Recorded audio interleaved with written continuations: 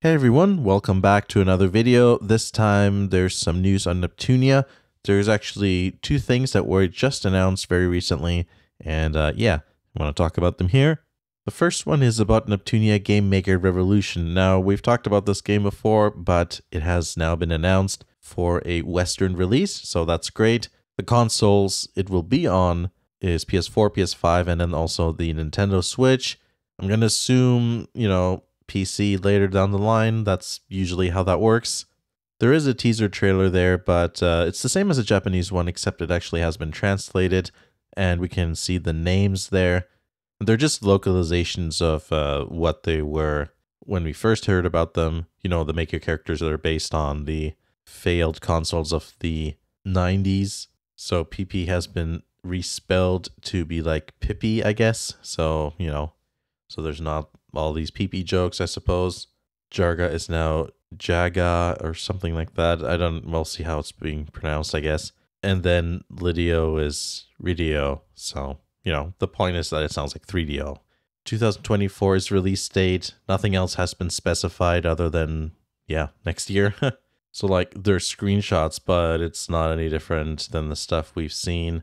Uh, it's, you know, from the developer build, from the Japanese version. But hey, if you haven't seen the pictures yet, uh, well, there they are on the screen.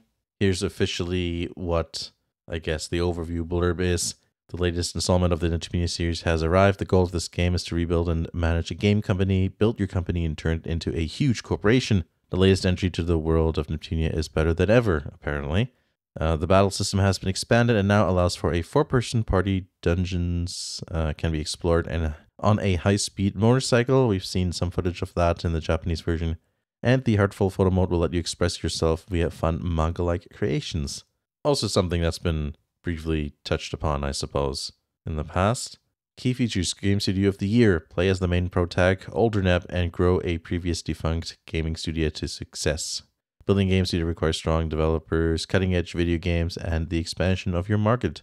So, yeah, we saw some management stuff there in the Japanese updates, so that's what that seems to refer to.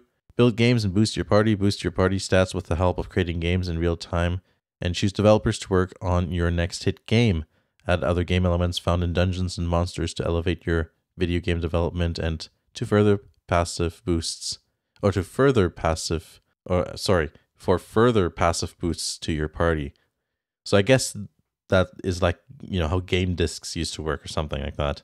It's time to room room. Oh, jeez. Ride in style through dungeons and sell your games on your trusty purple motorcycle as you explore more dungeons and find game elements, game element items to add to your next breakthrough hit. You can also gain more shares of that location. Party Management 101 supervise a party of four to lead your company to the top, but there may be other game studios ready to take you down.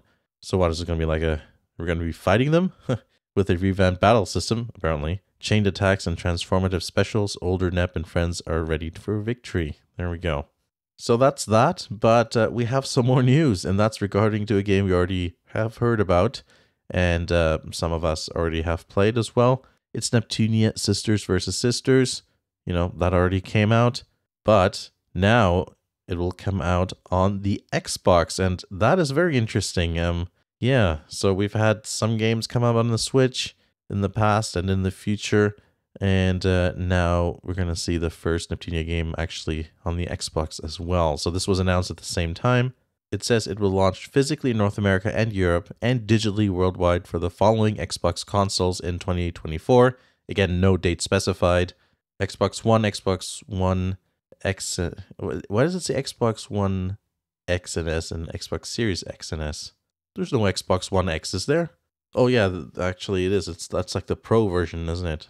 One important detail that they thankfully mentioned, and I applaud them for that, is that the Xbox releases will be like, you know, it says here it's based on the original PS4 and PS5 releases, and uh, the patch 1.01 stuff that happened with the changes to the dialogue is going to be implemented on the Xbox versions.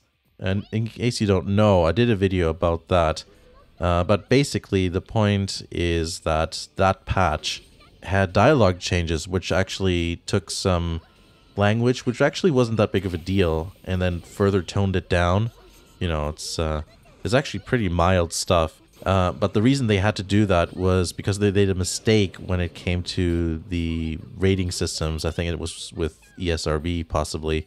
And you know how in the back there's stuff written like, uh, you know, language or gambling or extreme violence, you know, depending on what the game is. Well, it was missing one of those things. So even though it was a T rating and the language that was originally in the game, you know, that actually works with that T rating, but because it was missing that little identifier there about, uh, you know, the the language being a bit more saucy, I suppose, uh, they had to patch it out.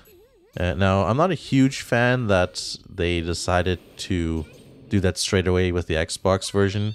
I'm pretty sure I know why they did it though. It's so like, hey, all the versions are the same, but yeah, I, I don't I don't like the fact that uh, they changed it for every version, and that's also true for the you know other non-PlayStation versions. Um, well, Steam, I guess. That one was patched, unfortunately. But thankfully, because they know we care about this stuff, they did mention it. So, you know, you can make your decision on whether you want to purchase this game or not. I hope this is a good opportunity for them to bring other Neptunia games over to Xbox because, well, I mean, better availability is always better, right? Uh, the trailer isn't really worth showing. It's li they literally managed to make a trailer of just a black screen and then they're talking about oh fumbling the light with the lights and then they turn on the lights and there's like a logo that says hey it's coming to Xbox and it's like oh jeez you know talk about a minimalistic use of the video format but anyways it does say there's going to be some more news about the physical release later, so, you know, whether there's a limited edition for the Xbox versions, we don't know. Um, it does say it will be available for uh, Xbox One and also the Xbox Series X and S, but it doesn't state whether it's going to be like a dual version where it's just, you know, an Xbox One game that just scales up onto the Series X and S or if there's actual separate versions like uh, with the PS4 and PS5 game. So yeah, we'll have to see how that is when when they drop some more news on that topic. I don't really see any differences in terms of the actual screenshots and uh, you know the PS5 game, for example. So, but we'll only know once it actually comes out, and uh, hopefully I'll have the opportunity to give that a go and do a bit of comparison there in the future. But yeah, that's the news in regards to Neptunia. Neptunia on Xbox and uh, you know the new game coming out all next year, and hopefully we'll soon get some more announcements on you know physical editions, limited editions, and more precise scheduling, that sort of thing. So thanks very much for watching. Let me know what you think, and I'll see you again in the next video.